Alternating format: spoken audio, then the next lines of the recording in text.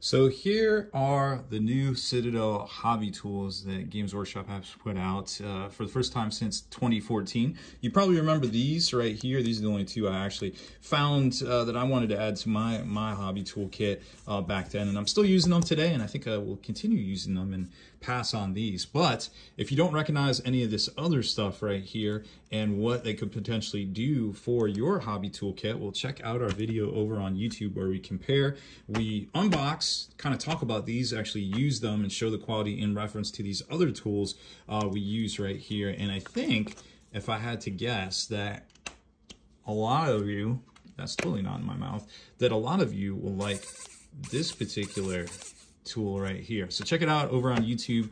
Um, lots to say. I went pretty long on this one just to compare them. And uh, yeah, it was, it was really fun.